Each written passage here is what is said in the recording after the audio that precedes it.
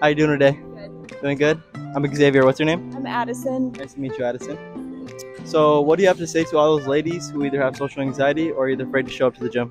You need to just go for it because no one cares. Like we're, we're all here doing the same thing. So What's something you're, you're really passionate about right now? I'm in hair school, so hair, and then obviously working out at the gym. So You're like a hairstylist? Mm-hmm. Okay, that's cool. So, what's something that has you motivated and keeps you consistent showing up to the gym every day?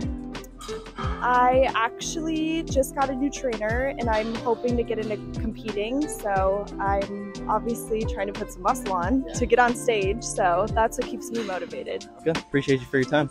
You have a wonderful rest of your workout, okay? Nice meeting you too.